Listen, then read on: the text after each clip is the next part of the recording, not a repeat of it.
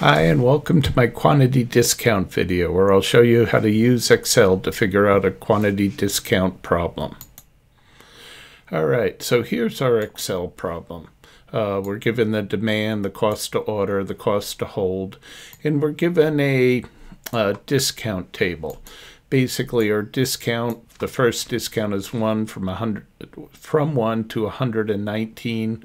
We have a cost of 100 and it goes up from there um, you could see them. All right, so quantity discounts are a three-step problem. First, we figure out um, our economic order quantity or our Q. Um, all I did is put in the basic economic order quantity um, uh, uh, equation right here, your 2D C sub O divided by your C sub H. All right, the only thing is make sure you use the cost per unit from the um, appropriate discount column. All right, so the next thing that we figure uh, figure out is do we need to adjust um, this? And since actually it's over, but we look to see if it's in this range. Uh, since this one is greater than the range, what it's really telling you is don't even waste your time figuring it out because you wouldn't order here anyway, but just for going through the formulas, we'll use it. All right, so our next step is we find out our three costs so we can add them together and get total cost. Our first one is ordering cost, which is n divided by our c sub o, and of course n is d divided by q. The one thing is make sure to use the adjusted q here, because um, if we have to adjust the q, the number will change. Um, the same holds true for ordering costs.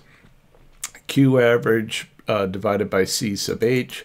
But again, my Q average is uh, my adjusted Q as the Q average. And then my final cost is uh, demand cost, which is simply uh, my per unit um, times uh, how much demand I have. Um, one thing I will show you here is you notice I used um, absolute cell references, like B13 is an absolute cell reference. Here's a neat little shortcut. If, um, if I do B13 like this, and then I do the function key F4, it automatically puts in the cell references for me. All right. And then finally, total cost, I just used the sum formula uh, added my three uh, together.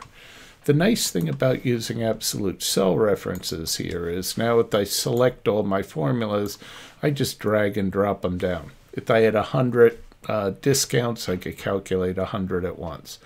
The only thing I have to do is go through the uh, Q adjust and see if I have to adjust it. So the first two are no, like 275 falls in this range. But my third one, 279 doesn't fall in this range, so I have to adjust it. So I'm going to adjust that up to 1500, which is the minimum.